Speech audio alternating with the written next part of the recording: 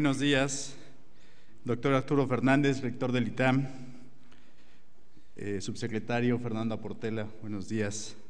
Benito, buenos días. Vicepresidente de la Asociación, Lorenzo, buenos días. Alejandro Hernández, a todos, compañeros y compañeras. Me siento muy afortunado de dirigirme a ustedes por primera vez como presidente de la Asociación de Exalumnos del ITAM en el marco de este tradicional y relevante seminario de perspectivas económicas. Este seminario inició a mediados de la década de los ochentas por iniciativa de un grupo de exalumnos para resolver un problema de asimetría de información entre el gobierno y el resto de los entes económicos. Recordemos que entonces nuestras prácticas de difusión de información no estaban tan evolucionadas. Es por eso que a nadie sorprendía que el presupuesto federal fuera discutido y aprobado durante las últimas horas de cada año y que eh, también las reformas fiscales y las misceláneas que derivaban de ellos pues, se aprobaban también así. Es así que por mucho tiempo los tomadores de decisiones iniciaban el año con gran incertidumbre de las variables y conceptos fundamentales de la economía. Ese grupo de exalumnos, que por cierto muchos de ellos están aquí, saludo con mucho aprecio, fieles a la teoría económica que busca minimizar los efectos de las fallas de mercado y las asimetrías de información, crearon este foro que desde distintos puntos de vista profundiza el entendimiento y análisis del rumbo económico del país. Con el paso del tiempo, el seminario se ha consolidado como un foro de expresión y difusión en el que se han ido abordando los temas que son importantes para el entorno nacional y mundial que se vive en cada momento. Por mencionar algunos de ellos, los más recientes, tenemos el de 2007 y el de 2013, en donde en, cada uno se abordaron los desafíos de los exenios que iniciaban, o el de 2009, en donde se analizaron los efectos de la crisis financiera mundial que entonces estaba vigente. Además, este seminario es una externalidad positiva eh, porque siempre ha representado la oportunidad de traer de regreso a su alma mater a exalumnos que ocupan puestos de toma de decisión importantes, fortaleciendo con esto el círculo virtuoso característico de nuestro ITAM, entre la captación de alumnos de alto rendimiento y la generación de exalumnos con presencia influyente y decisiva en la sociedad de nuestro país. Se pudiera pensar que el Seminario de Perspectivas Económicas ha agotado su misión ante la realidad de un país que ha evolucionado profundamente en sus prácticas de divulgación de, información económica, lo que ha permitido situar a México en la antesala de lo que hoy se conoce como el gobierno abierto. Sin embargo, ante una nueva era de muchas opiniones, de exceso de información y de una complejidad tan alta de esta información, se mantiene tan vigente como siempre la necesidad de un espacio en donde al principio de cada año se escuche de la fuente original la perspectiva económica de los diferentes actores. Es así que durante los siguientes días esperamos que la información y puntos de vista que se compartan aquí nos den elementos para que cada uno nos formemos una opinión del rumbo de la economía del país en el siguiente año, en este año que empieza, perdón tanto a la luz de las reformas en acción recientemente aprobadas, como del contexto económico, político y social que prevalece en nuestro México. No me resta más que agradecer a todos por su asistencia en esta edición 2015. De manera especial agradezco a los ponentes que han hecho un extraordinario esfuerzo por venir, en razón de que este año el seminario ha coincidido con dos eventos también muy importantes que están sucediendo y que estamos compartiendo horarios, exponentes y agenda. Es la reunión anual de embajadores y cónsules y el Economic Survey organizado por la OCDE y la Secretaría de Hacienda. Por último, en nombre de la Asociación de Exalumnos del ITAM, externo mi agradecimiento al rector, a Alejandra Peralta y su equipo, y de manera especial a eh, Benito Solís, quien cada año coordina con su amplia experiencia y dedicación este evento. Muchas gracias.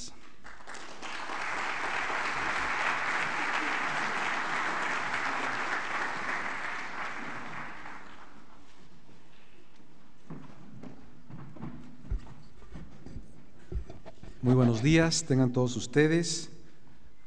Doctor Fernando Aportela, subsecretario de Hacienda y Crédito Público, invitado de honor a, esta, a este seminario, brillante exalumno del instituto, quien apreciamos muchísimo y a quien agradecemos su deferencia para, con esta institución, el que nos haya aceptado la invitación de participar esta mañana. También quiero hacer un reconocimiento muy especial a Igor Rosete, presidente ahora de la Sonda Exalumnos, que con la colaboración de Lorenzo Mid y muy especialmente de Benito Solís, pues han hecho posible nuevamente la realización de este seminario ya tradicional de perspectivas económicas.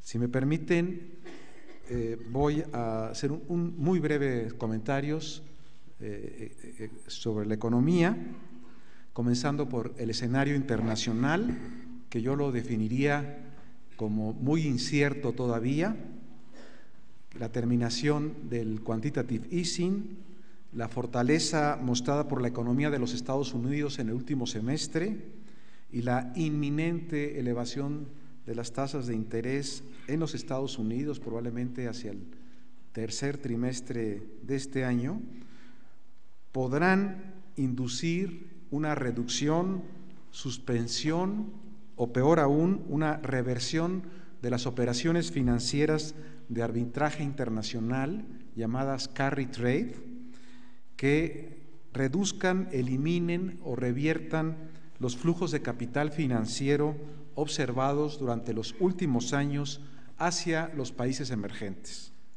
Simplemente para que vean la magnitud de lo que ha ocurrido, el crédito expresado en dólares a entidades no bancarias fuera de los Estados Unidos llegó a 9 trillones de dólares, es decir, 9 con 12 ceros, cuando hace seis años era de 5 trillones de dólares. Es decir, se han transferido poco más de 4 trillones de dólares a través de estas operaciones financieras de arbitraje a los países emergentes. Y entonces, pues la expectativa de dicha reducción, suspensión, incluso reversión de esos flujos financieros internacionales, pues está reflejando en un inusitado fortalecimiento del dólar frente a todos los activos del mundo. Lo hemos visto con respecto a todas las monedas, materias primas, etcétera. Este fenómeno estuvo presente como detonador de las crisis financieras mundiales de 81, 87, 94 y 97, que afectaron especialmente a las economías emergentes más vulnerables en esos años. Y esa vulnerabilidad estaba reflejada en el nivel deficitario de las finanzas públicas o en la posición financiera neta frente al exterior que se traducía en altos déficits en cuenta corriente. En el escenario nacional, creo que es justo comenzar aplaudiendo, reconociendo las reformas estructurales aprobadas durante los últimos dos años en el Congreso de la Unión y muy, muy especialmente la reforma energética, porque sin duda contribuirán a impulsar el desarrollo económico del país. Y son estas reformas fundamentalmente las que están distinguiendo a México dentro de este escenario posible de crisis financiera internacional. Y por cierto, la calidad regulatoria de la legislación energética es notable para bien del país. Por otro lado, hemos sido testigos de una economía mexicana relativamente débil, obviamente la depreciación del peso como la de otras monedas, y de finanzas públicas que se han hecho más frágiles frente a la declinación del precio internacional del petróleo. El comportamiento observado de la economía durante estos dos años sugiere que la política anticíclica emprendida eh, no ha sido eficaz para estimular la economía nacional como se esperaba. Incluso, y ahora, esta misma puede hacer vulnerable al país ante un escenario de aumento en las tasas de interés en los Estados Unidos. Así también ha sido evidente que la política tributaria conducida a través de aumentos en las tasas impositivas no ha sido favorable para la economía al contraer el gasto y la inversión privada.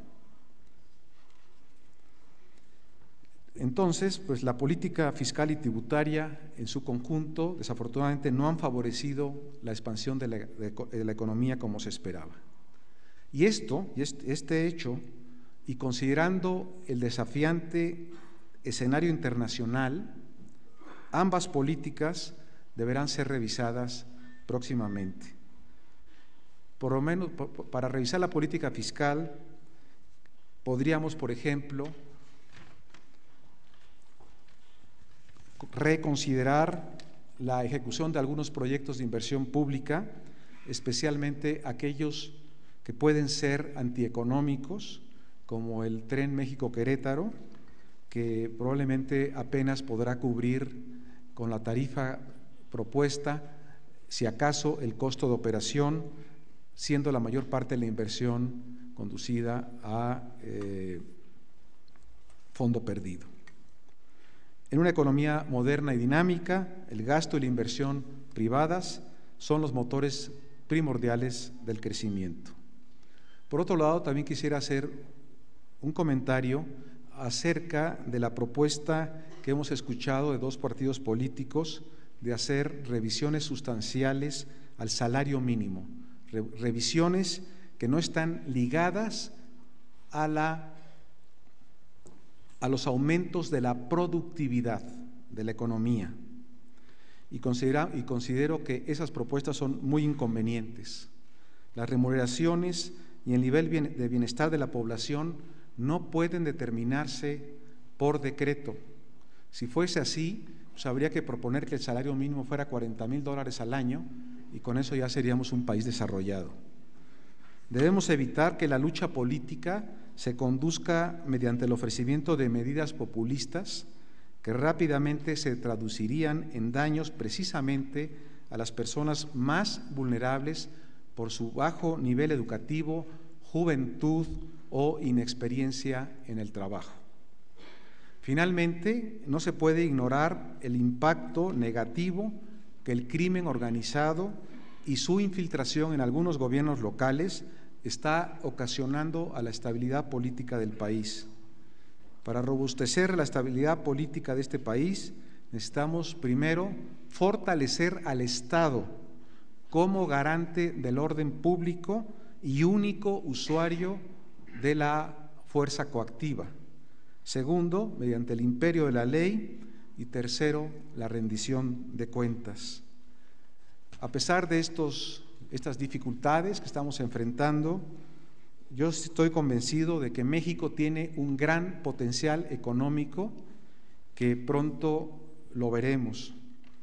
En un trabajo serio y cuidadoso de Ray Dalio, que es el fundador de Bridgewater, el hedge fund más grande del mundo, se valora una serie de indicadores muy bien elaborados que posicionan a México como uno de los cuatro países con mayor potencial de crecimiento del mundo en las próximas dos décadas.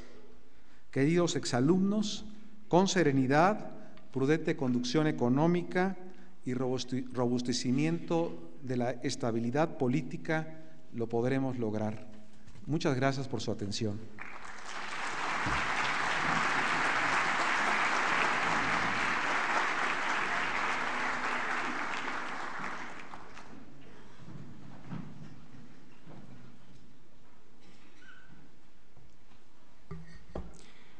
Pues muchísimas gracias por sus comentarios. Nuestro nuevo presidente de la Asociación de Exalumnos, Igor Rosete, nuestro rector, como de costumbre, muy atinados sus comentarios sobre temas de economía relevantes. Ahora iniciamos este evento de perspectivas y tengo el gusto de presentar a nuestro primer expositor del seminario, quien ha sido profesor de finanzas públicas en esta universidad y no solo egresado de la misma. Destaca en su largo perfil académico que ustedes tienen ya frente a sí, obviamente su licenciatura en el ITAM, muy destacado, su maestría y doctorado en el MIT, ha estado en la gerencia de investigación del Banco de México y en la oficina de la presidencia y ha sido subsecretario de ingresos en el gobierno del estado de Veracruz, en donde destacó una serie de colocaciones innovadoras para nuestro mercado. También ha trabajado en el sector privado, en el sector financiero. Le pido que recibamos con un aplauso al subsecretario de Hacienda y Crédito Público con el tema de perspectivas de la economía mexicana.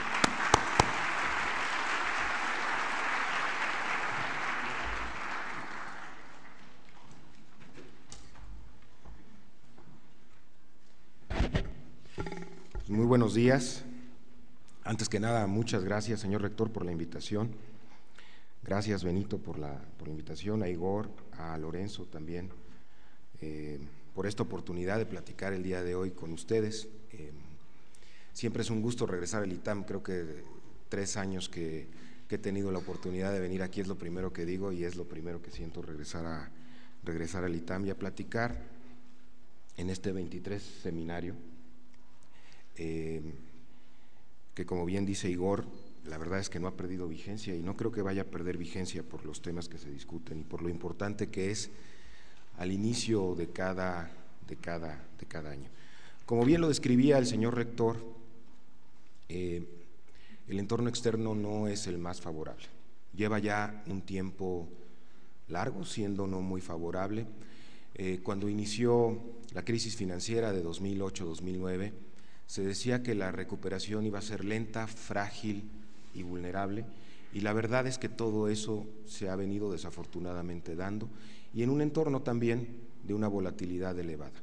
Hay elementos, y los vamos a describir, elementos favorables, y hay otros elementos que nos llaman a tener, a tener atención en esos, en esos factores y también a seguir trabajando en lo que estamos haciendo en México para lograr diferenciar a la economía mexicana de otras economías emergentes. Si nos vamos a la primera lámina, para nosotros es muy importante la economía de los Estados Unidos. En ese sentido, la economía de los Estados Unidos ha tenido un desempeño favorable en los últimos, en los últimos trimestres. De hecho, eh, el último trimestre fue revisado al alza, se esperaba una revisión que alcanzara alrededor del 4.2% y se revisó hasta el 5% un trimestre de crecimiento que no se había visto en muchos años en los Estados Unidos. Eso lo que ha implicado es que la perspectiva de crecimiento para este año en ese país se encuentra alrededor del 2.3, 2.2%, perdón, para el año 2014 eh, y para este año 2015 en un nivel del 3.5%. Eso sin duda por la interrelación que tiene México con los Estados Unidos, eh, donde el 80% de nuestras exportaciones manufactureras se dirigen a ese mercado, es sin duda un factor favorable que apuntala el crecimiento de las manufacturas y las exportaciones en México. La lámina que sigue, por favor. Los datos de empleo, eh, y son importantes estos datos de empleo para lo que se ha hecho o la revisión que hace la Reserva Federal sobre cómo va a ir manejando su política de incremento en tasas. Los datos de empleo han venido muy bien.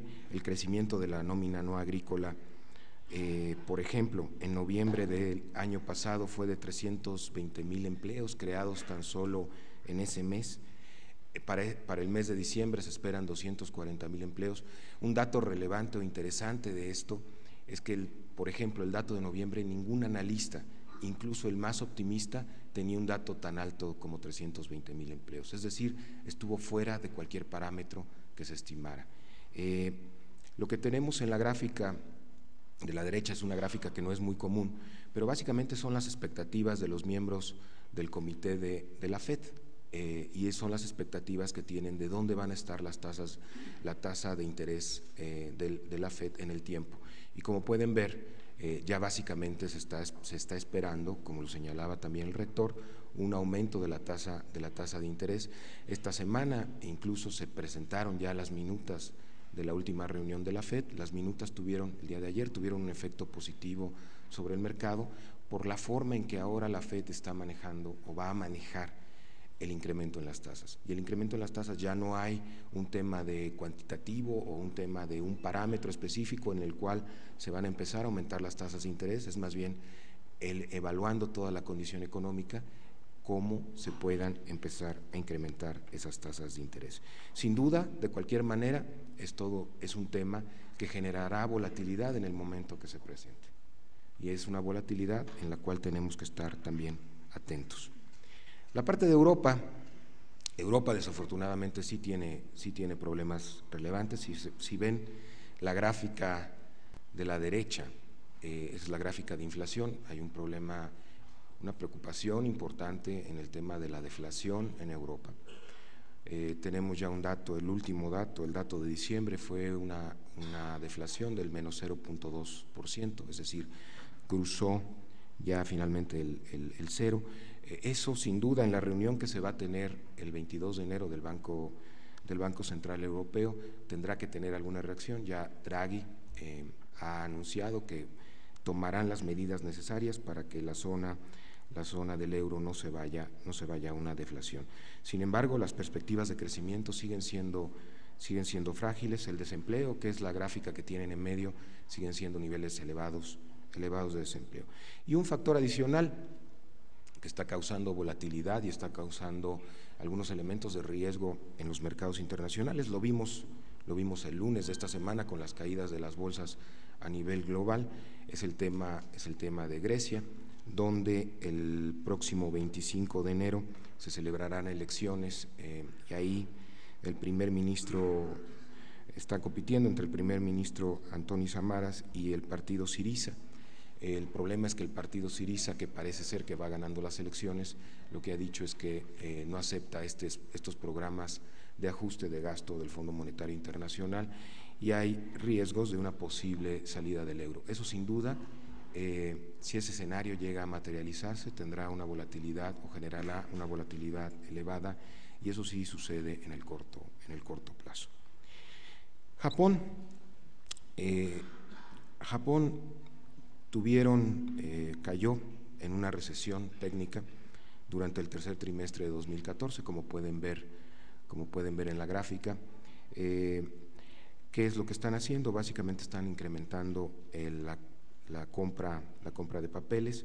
El Banco Central está cambiando su rango entre que tenía entre 60 a 70 millones de yenes anuales, lo está subiendo a 80 millones de yenes, es decir, también ahí hay un entorno complicado eh, que se derivó se derivó eh, de la situación económica, específicamente del cambio fiscal que generaron en Japón. Si nos vamos a las economías emergentes, las economías emergentes habían estado creciendo de manera significativa antes de la crisis del, 2000, del 2008. Tenían un crecimiento del 7%, tenía mucho que ver con la demanda global por commodities. Cuando esta demanda global por commodities cae por la crisis eh, de 2008-2009, eh, esto genera una menor perspectiva de crecimiento para estos, para estos países y ahora en el mediano plazo tenemos una perspectiva de crecimiento para las economías emergentes del 5%. Particularmente el caso de China es relevante. Eh, China se ha venido desacelerando. Lo que se espera de crecimiento para este año eh, es de un 6.9%. El año que acaba de concluir, 2014, se espera un crecimiento del 7% del 7.3%, es decir, de los niveles a los cuales nos tenía acostumbrados China, que eran niveles alrededor del 9, el 10%, está teniendo una desaceleración de alrededor del 7%. Del 7%. Esto sin duda también genera un entorno, un entorno eh, de menor dinamismo en las economías emergentes en los próximos, en los próximos años. El petróleo Petróleo es un, eh, eh, lo que ha venido ocurriendo en el petróleo es un claro ejemplo donde esta debilidad de la demanda global asociada a una sobreoferta de la producción de petróleo ha generado una reducción importante en el precio. Lo que tienen ustedes ahí, por ejemplo, es la gráfica de producción de petróleo crudo de Estados Unidos. Como pueden ver, pasó de niveles de niveles de dos, eh, de 5 millones de barriles, de cinco y medio millones de barriles, a niveles de poco más de 9 millones de barriles de producción, de producción diarios. ¿Qué quiere decir eso? Lo que ha ocurrido en estos años es como si en Estados Unidos hubiese aparecido un país eh, árabe, un tipo Irán, un tipo Irak, se hubiese descubierto y hubiese generado toda esa producción. Ese es el tamaño del cambio energético que se generó en los Estados Unidos. Eso aunado a la reunión que se dio en la OPEP el 27 de noviembre del año pasado, donde se decidió que la OPEP no iba a reducir su producción y también a los últimos datos donde ya también se, conoció que Rusia tiene una producción más elevada, que Irak también está teniendo una producción más elevada, lo que ha generado es una reducción muy importante del precio del, precio del, precio del petróleo. Eh, al día de ayer la mezcla mexicana estaba en 40.07, el WTI en 48.65 dólares por barril. La que sigue, por favor. Eh, bueno, regrésate, por favor, antes de pasar. Creo que es importante mencionar el tema de los futuros. La línea gris sólida de la gráfica de la derecha es cómo se ven los futuros del precio del petróleo del WTI en los próximos, en los próximos eh, años. Como pueden ver, eh, típicamente estos eventos tienen un rebote relativamente rápido de del precio del petróleo. Tiene mucho que ver con los diferentes costos de producción de los diferentes tipos de crudo que se producen.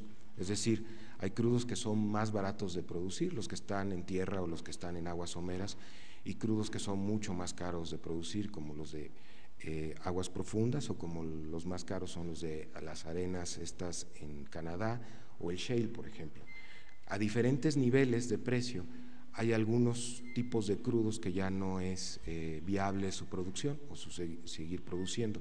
Entonces, a medida que va bajando el precio, se va generando cortes de oferta que lo que hacen es sostener el precio a ciertos niveles.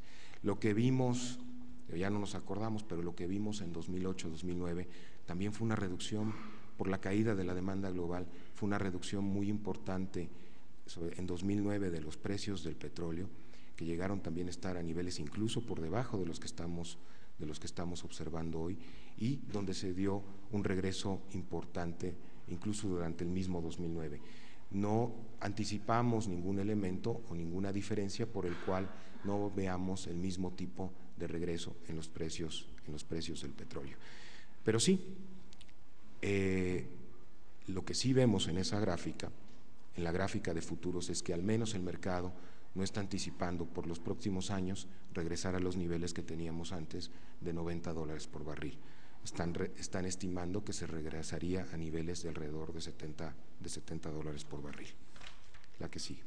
Ahora, claro que para México esto es importante, claro que para México, como lo señalaba el señor rector, eh, representa un reto para las finanzas públicas. El reto que tenemos no es solo de precio, también es de cantidad. Lo hemos señalado reiteradamente eh, de cómo se ha venido, y lo vamos a ver, tenemos una gráfica de exportaciones petroleras, y de cómo se ha venido reduciendo la producción petrolera incluso antes de la caída de los precios. Eh, tenemos ese reto, pero durante muchos años en el gobierno de la República se han construido elementos que protegen a las finanzas públicas contra estos factores. El año pasado en noviembre terminamos la cobertura petrolera. La cobertura petrolera este año la hicimos de dos, de dos maneras. El precio del presupuesto para este año, para 2015, 79 dólares por barril. Lo que se cubrió en los mercados financieros fue, tenemos las coberturas para toda la exposición neta de petróleo mexicano por 76.4 dólares por barril y del Fondo de Estabilización de Ingresos Petroleros, del FEIP, tomamos una subcuenta por, ahí está la cantidad, por 7.944 millones de pesos, con los cuales cubrimos los otros 2.6 dólares por barril. Cada dólar por barril equivale en neto, equivale a una exposición de 3.800 millones de pesos.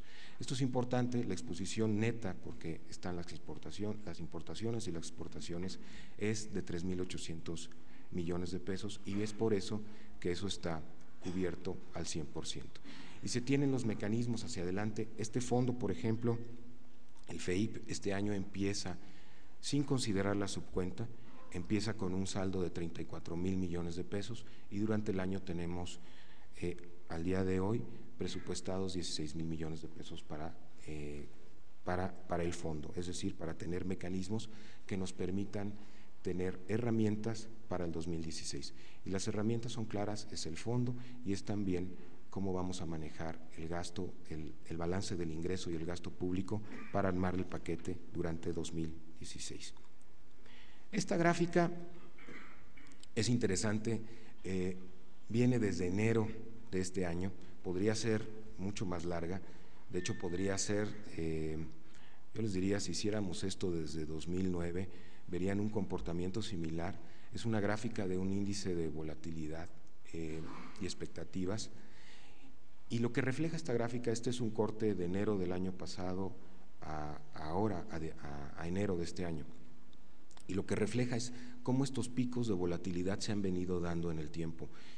Si uno tuviera una, serie más larga o una gráfica más larga de esto, verían también el mismo tipo de fenómenos. Y ahí tenemos, por ejemplo, iniciando, iniciando el año pasado, en enero, una versión de economías emergentes por un dato eh, desfavorable del PMI de las órdenes manufactureras en China, que estuvo por debajo del 50%. Luego, en, luego en julio, Tuvimos todo el tema de Ucrania y Rusia y el default eh, técnico de Argentina, que también incrementó la volatilidad. Eh, después tuvimos eh, básicamente un reporte del Fondo Monetario Internacional en octubre que se dio, se dio una mayor aversión al riesgo por una reducción de la economía, de la economía global.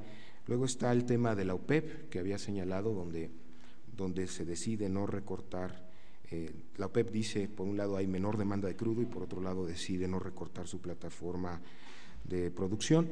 Y finalmente el tema, el tema de Grecia y el euro, que fue lo que tuvimos este fin de semana pasado.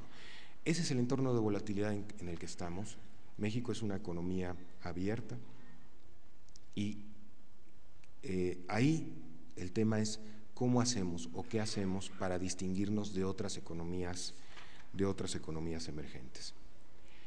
Y quiero darles este cuadro, este cuadro es el cambio desde el 31 de diciembre de 2012. No son las últimas dos semanas, no es el último trimestre de 2014, es una serie, es una visión un poquito más larga para ver en todo este periodo cómo nos han diferenciado o cómo nos ha tratado los mercados financieros internacionales comparados con otros países emergentes. Tenemos en la muestra Indonesia, Turquía, Sudáfrica, eh, Brasil, Rusia, Colombia y México. Lo que tenemos esos datos, aunque el 14.5 de México en la columna de tipo de cambio se parece a los tipos de cambio, es la depreciación que se ha dado. Lo que tenemos es la depreciación, en la primera columna es la depreciación desde el 31 de diciembre de todas esas monedas, el cambio en puntos base de los bonos en dólares a 10 años y de los bonos en, moneda local y el costo de los seguros de la deuda, los credit default swaps a 5 años, que es básicamente es un seguro que te cobran por la probabilidad de que una economía de que una economía no pague y el cambio el cambio en las calificaciones en el periodo. Si ustedes ven este plazo más largo, la depreciación del tipo de cambio en México en todo este periodo ha sido del 14.5% la de Indonesia 30%, Turquía 30%, Sudáfrica 38% casi, Brasil 31%, Rusia con todos los, los, problemas que han tenido recientemente del más del 100%, Colombia 37.4%. Las tasas de interés en dólares, lo que estamos viendo, nosotros tuvimos un incremento de 66 puntos base, de 0.66% y en otros países también somos el menor de esta muestra. Rusia 410 puntos base, Brasil 160 puntos base. En moneda local, eh, México 32 puntos base, eh, Indonesia 293, Rusia 197, Brasil 318.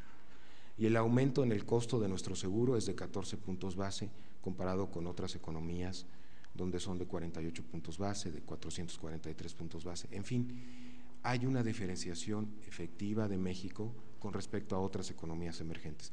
Y eso no hay que perderlo de vista. Ahora, esto no es resultado de la casualidad, no es resultado de que decidieron que México, porque está... Eh, eh, porque tiene una mayor relación con los Estados Unidos o porque tenemos este mercado que está creciendo, nos ha tratado mejor los mercados. Esto se debe, yo les diría, a varios factores que ya tienen algunos mucho tiempo que se han venido dando. Uno es mantener finanzas públicas y políticas monetarias prudentes y responsables durante mucho tiempo. Eso ha dado, ha dado resultados. Tener fundamentos económicos sólidos. Eh, tener todo un conjunto de herramientas, por ejemplo, 193 mil millones de dólares de reservas internacionales, haber renovado la línea de crédito flexible con el Fondo Monetario Internacional, y aquí por 70 mil millones de dólares, y aquí me, déjenme detenerme tantito. La línea de crédito flexible del Fondo Monetario Internacional es per se un reconocimiento o una aprobación del fondo sobre las políticas públicas, las políticas macroeconómicas de los países. Es decir, es el equivalente a que te otorguen una tarjeta de crédito para usarla en caso de emergencia porque te has comportado bien durante mucho tiempo y de manera consistente y porque tus perspectivas son favorables. Es decir, esos 70 mil millones de dólares que se dio una renovación por dos años, que se da cada año, ya es la tercera vez que nos la renuevan, ese recurso se, se lo otorga el Fondo Monetario Internacional a los países que tienen las características necesarias de responsabilidad para tener acceso a eso. Y es de manera incondicional. Los 70 mil millones de dólares se pueden tomar, eh, por ejemplo, en un escenario como el que se describía, donde hubiera peores condiciones financieras internacionales, México podría tomar esos recursos sin, eh, de, forma, de forma incondicional.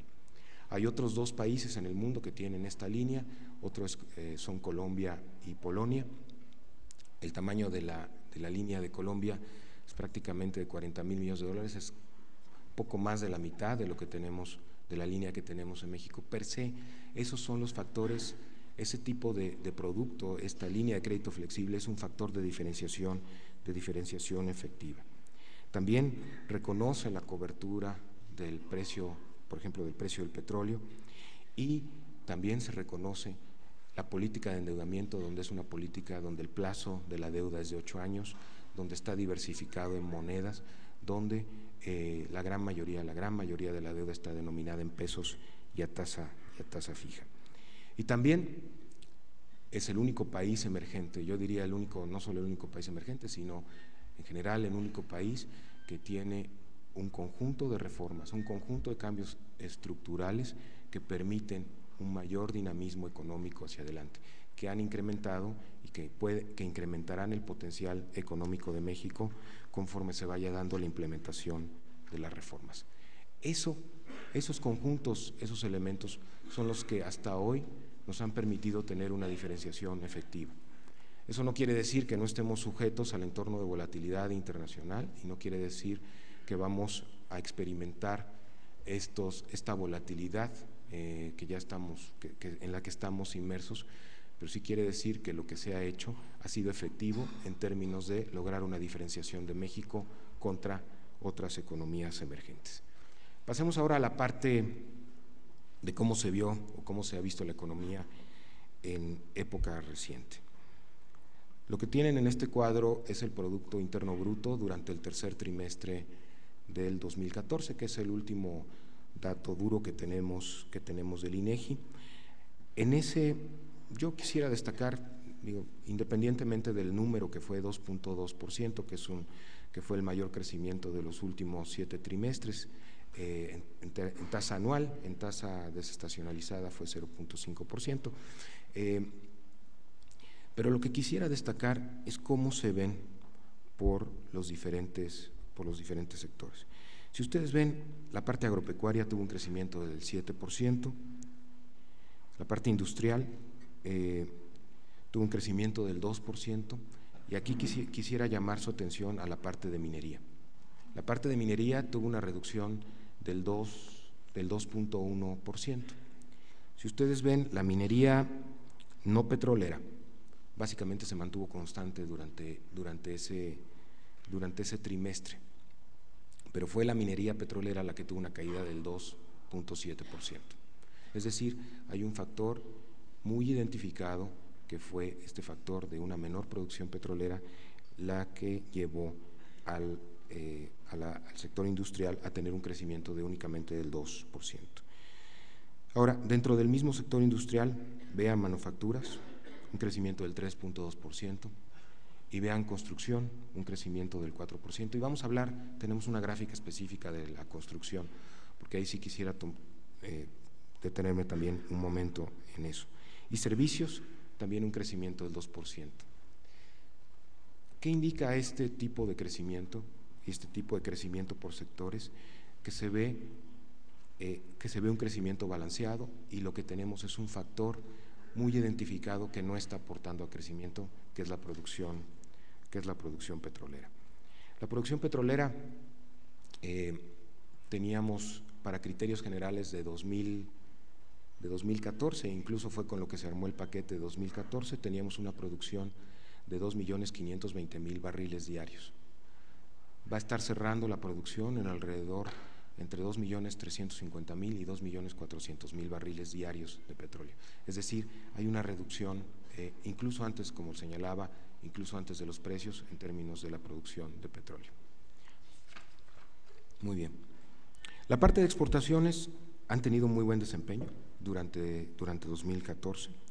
Lo que tenemos es que entre el periodo de enero-noviembre las exportaciones han crecido 6.4%, las automotrices han tenido un crecimiento eh, muy significativo y lo que es interesante de la gráfica de la gráfica de la izquierda que tienen ahí es que eh, las exportaciones no automotrices, eh, que es la línea, la línea morada que tienen ahí, y las manufacturas, básicamente no habían tenido un crecimiento muy dinámico durante varios meses, entre enero del 2012, yo les diría hasta por ahí de la mitad, finales de 2013, pero ya luego están teniendo un crecimiento, un crecimiento más dinámico y obviamente las automotrices con un, con un desempeño, con un desempeño de mayor al 10%. Al 10%.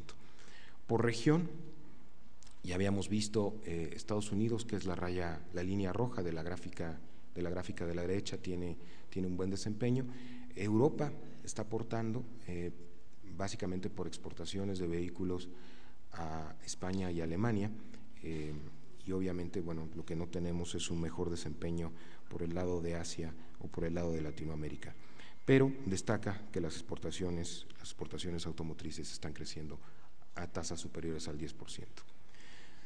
Las exportaciones petroleras sí se han visto afectadas por una menor plataforma de producción. Ya mencioné eh, cuánto es en términos de barriles diarios eh, de reducción. Si nos vamos a la lámina que sigue, hicimos un ejercicio de cuánto representa esta menor producción sobre el PIB. Lo que hicimos fue un ejercicio donde dijimos si la plataforma se hubiese mantenido sin crecimiento, simplemente en el nivel que tenía, cuánto hubiese aportado más de crecimiento al Producto Interno Bruto durante 2014. Y lo que encontramos en nuestra estimación en la Secretaría de Hacienda es que eso impactó en 0.4 puntos porcentuales a la tasa de crecimiento durante 2014. Si ustedes ven, eh, esta gráfica es muy ilustrativa del escenario en el que estamos. Y aquí, nuevamente, por eso, son, por eso fueron las reformas, no solo son muy importantes, sino que fueron oportunas. Eh, la reforma energética es la que nos permite saber eh, que cuando se den las inversiones, la plataforma de producción tenderá a revertirse, tenderá a tener un crecimiento en el tiempo y la que nos permite estimar que entre el 2019 y 2020 regresaremos a una plataforma de producción de alrededor de 3 millones de barriles, de barriles diarios. Y también la reforma fiscal es la que nos permite tener mayores, mayores espacios para acomodar estos choques que se están experimentando en las finanzas públicas. Ya lo decíamos cuando presentamos el paquete económico para este año, que en términos, en términos de ingresos, esta caída en la producción de petróleo, incluso antes de los precios, porque los precios están, están cubiertos por, la, eh, por las coberturas de petróleo, esta caída representaba alrededor del 0.5% del Producto Interno Bruto, que gracias a la reforma fiscal se pudieron acomodar en el paquete. Muy bien. Eh, la construcción, la construcción eh, es un sector que había tenido eh, meses complicados por cómo se había venido dando el desempeño de la misma y por problemas específicos en algunas empresas dentro del sector de la construcción, pero ya muestra indicadores favorables. Como señalaba en el dato del tercer trimestre del PIB, tiene un crecimiento del 4%, pero por ejemplo el valor real de la construcción ha reportado un aumento ya por cuatro meses seguidos. La producción industrial de la construcción en octubre reportó un crecimiento del 5.4% en términos reales, que es el mayor desde noviembre, desde noviembre de 2011 y muy importante, el empleo en el sector de la construcción, en el último dato que tenemos, que es el dato de noviembre, tiene un crecimiento del 10.25%. El crecimiento del empleo a nivel nacional es del 4.2% y el crecimiento en, en la construcción, del empleo en la construcción, es del 10.25%. Esto tiene que ver también con el efecto del el gasto, entre enero y noviembre el gasto programable tuvo un incremento del 9.2% en términos, en términos reales. Entonces, sí se han venido dando estos factores de mayor impulso económico, derivado también del efecto contracíclico que se ha generado en la economía a través de las finanzas, de las finanzas públicas. Y esta es la gráfica del empleo. El empleo ha crecido de manera importante. En noviembre ya se generaron 950 mil puestos de trabajo, que es el segundo mayor número de puestos de trabajo de la historia de, la historia de este indicador. Quizás eh, importante, ya afiliados del IMSS, ya hay más de 17 millones 475 mil trabajadores y también que la creación de empleos formales en noviembre, lo que se ve ahí es que el 80% de los empleos son de dos salarios, que se han creado de dos salarios mínimos hacia arriba y que está balanceado por sector, sector servicios generó el 47% de los empleos, manufacturas 30% y construcción 20% de los empleos. Es decir, también se ve un dinamismo en el empleo y se ve balanceado por los diferentes, los diferentes sectores. Todo esto, todos estos, la que sigue, por favor. Todo esto lo que nos indica es que tenemos mejores sustentos para el consumo. Y ya tenemos datos del, del consumo privado que están empezando a mostrar una recuperación y también la confianza del consumidor que ya recuperó, su, nivel, su nivel observado en septiembre de 2013. Por ejemplo, el consumo privado de septiembre aumentó 3.1% a tasa anual y la confianza del consumidor, la de noviembre, fue de 93 puntos y tuvo un aumento de 4.7 que fue el mayor incremento desde enero de 2013. Es decir, estos factores han tenido ya también, están teniendo un mejor desempeño sobre sobre los datos de consumo. Vamos ahora a 2015, porque el seminario se llama Perspectivas sobre 2015. Eh, em, ¿A qué sigue, por favor? Hay algunos, primero, eh, y, lo, y se va, si ustedes revisan las expectativas de crecimiento de todos los analistas, todos están anticipando un crecimiento durante este año que es más dinámico de lo que vimos el año pasado. La última, la última encuesta Banamex que salió, que salió el día de ayer tiene un crecimiento del 3.4% en promedio eh, para, el año, para el año 2015. Regrésate, por favor. Tenemos algunos indicadores que tienden a anticipar, por ejemplo, el IGAE. Uno es ventas de diésel, ventas de diésel cuando tiene un comportamiento que se eleva, tiende a anticipar el IGAI, no hay muy buenos indicadores en eso en México, ahí tenemos una tarea pendiente de trabajo, de tener mejores indicadores que midan de manera anticipada el crecimiento económico. Otro que refleja también o que anticipa crecimiento es la base, la base monetaria, que también está teniendo un mejor desempeño. Los indicadores de manufacturas, eh, los pedidos manufactureros también están sugiriendo una recuperación más vigorosa. Eh, tuvimos el dato de diciembre eh, de dos indicadores, los del IMEF y los de HCBC. El de HCBC, que es un indicador más nuevo, tuvo un, tuvo un crecimiento más importante. El del IMEF eh, sí salió poco abajo de los 50 puntos, pero si uno toma una serie más larga, es decir, si uno toma un promedio, no una serie más larga, sino un promedio móvil de tres meses, lo que vemos es que los indicadores se encuentran arriba del 50%. Del 50%. También, para hablar en términos de expectativas de la, de la inflación, y el gobernador Carstens, que tiene su presentación en, seguido a la, a la, que estamos haciendo ahorita, eh, hablará seguramente a detalle de, lo, de, las perspectivas eh, de inflación. Hoy a las 8 de la mañana se dio a conocer el dato de inflación anual. La expectativa que tenían de inflación eh, era 4.07, la inflación que se reportó hoy por parte del INEGI es de 4.08, es decir, es básicamente en el rango donde está. Creo que lo importante destacar de esta, de esta gráfica es que para las expectativas de inflación del promedio de los próximos cuatro años se encuentran bien ancladas en niveles del 3.5% y para el cierre de este año en nivel del 3.5% también. Ahora, hay factores que son muy importantes para anticipar que vamos a tener una inflación menor durante 2015 y que la reducción de la inflación se va a dar de manera, de manera rápida. Primero, la disminución de las tarifas eléctricas, como ya lo anunció el señor presidente, hay una disminución de 2% en las tarifas domésticas eh, y del 6.9% en las tarifas industriales. Eso tiene que tener, va a tener un efecto sobre la, sobre la inflación la eliminación de las tarifas de larga distancia, donde se ahorrarán en las, en las, llamadas, en las llamadas de teléfono fijo alrededor eh, de 2.50 de y en las llamadas a celular alrededor de 4 pesos, de cuatro pesos por minuto en ahorro. Eh, el menor incremento en el precio de la gasolina, con un incremento de una sola vez durante enero de 1.9%, que fueron 26 centavos para la magna y para el diésel y 27 centavos para, para la gasolina premium. Eh, y finalmente, como todos sabemos, los, los, los, efectos de los impuestos que se dieron a inicios del año pasado, esos no los tendremos el día de hoy, eh, en durante este año, y esos básicamente se eliminan dentro de la base de comparación de la inflación y tendrá una reducción muy importante.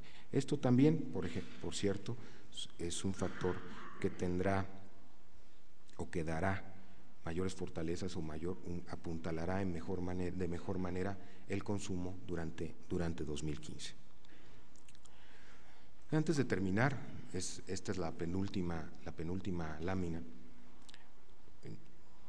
Yo quisiera eh, un poco destacar qué es lo que, qué es lo que, eh, que ya lo decía, este marco que distingue, que distingue a México, pero para, para cerrar yo diría, tenemos este conjunto de políticas macroeconómicas responsables, tanto fiscales, eh, en la parte fiscal, en la, en la parte de la reforma fiscal, no todo fue impuestos, por ejemplo. En la Ley Federal de Presupuesto y Responsabilidad Hacendaria, también por primera vez se incluyó un techo al gasto corriente. Un techo al gasto corriente lo que hace es que en periodos de bonanza, esa bonanza no se transfiera a mayor gasto corriente para que cuando la bonanza se termine no nos quedemos con un gasto público elevado. Eso por primera vez hay un techo en el gasto corriente que se tiene que cumplir. Eso es una regla de balance estructural que ayuda al manejo de las finanzas de las finanzas públicas en el tiempo. Y también la reforma fiscal es la que permite tener más espacios, precisamente más flexibilidad fiscal, precisamente para enfrentar estos escenarios de volatilidad internacional que tenemos. Segundo, quiero reiterar el compromiso con la trayectoria decreciente del déficit fiscal. Hoy, eh, para el año pasado, tuvimos un objetivo de 1.5% del déficit presupuestario, este año tenemos un objetivo del 1%, 2016 el objetivo es 0.5% para estar finalmente en 2017 en balance en 0%.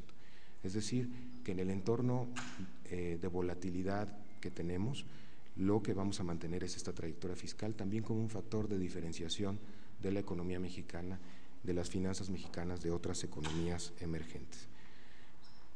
Tercero, que el cambio estructural que tenemos por las reformas y la implementación acelerada nos permiten tener mayores perspectivas de crecimiento.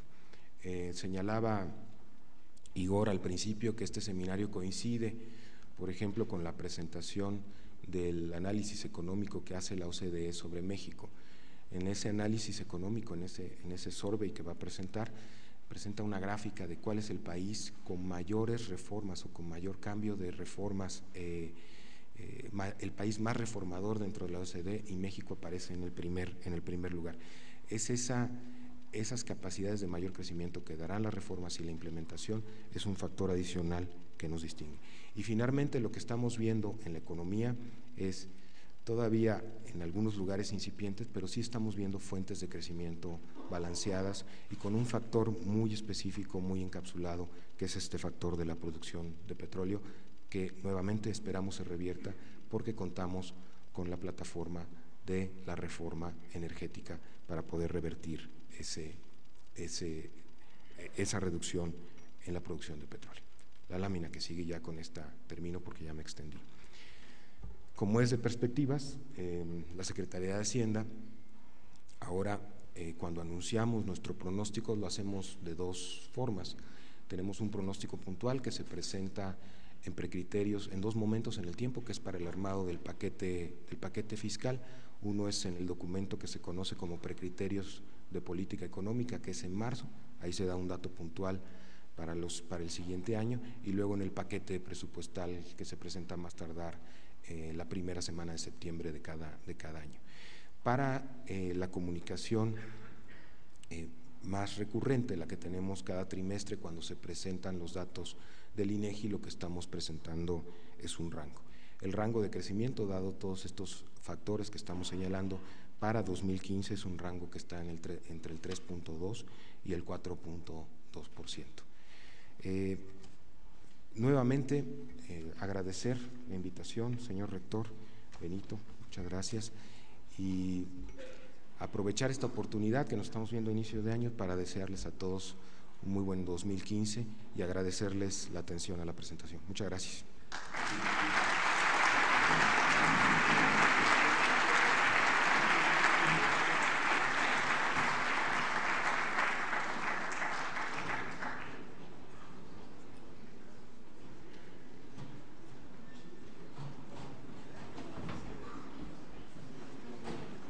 ¿No hiciste la pregunta y respuestas? Bueno, señores, este, yo quiero aprovechar un minutito, nada más un par de preguntas que me han solicitado. Este rango que hay del, de los, eh, del crecimiento que se espera, ¿cómo afecta el presupuesto? Porque creo que en el presupuesto está un solo eh, precio de pronóstico, digo, un solo indicador de pronóstico de crecimiento, y el otro es cómo afecta la caída del, bueno, están las coberturas, qué bien, pero ¿cómo afectaría esta caída en el precio del petróleo a las, los, al fondo que se reparte entre los distintos estados y si esto va a tener impacto en el resto de las eh, entidades federales?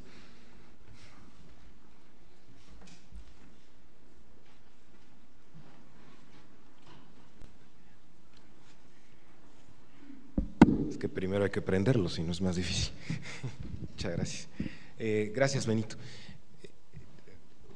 Las tenemos un, rango de crecimiento. En, términos de las finanzas públicas hay todo un procedimiento descrito en la Ley Federal de Presupuesto y Responsabilidad Hacendaria de cómo se van asignando en caso de que haya más o menos, más o menos ingresos en términos de los gastos.